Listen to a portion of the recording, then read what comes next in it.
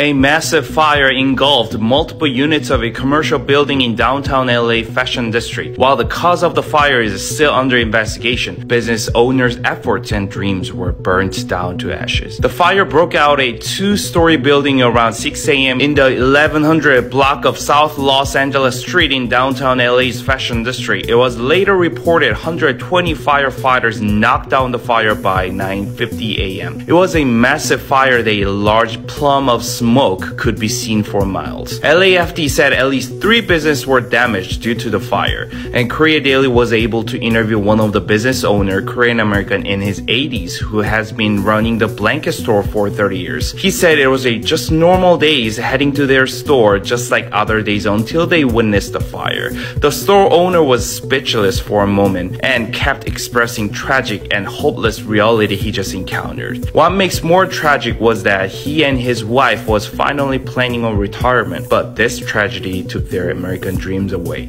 LAFD is still investigating the cause of the fire, but few people whom running businesses near the scene and witnessed the fire for entire time interviewed with Korea Daily that the fire allegedly erupted in a trash can located in the alley behind the building, subsequently engulfing the structure and raised the suspicion that a homeless might set the fire, which caused the structure fire. We'll follow what the matter once the authorities confirm the cause of the fire. Stay tuned.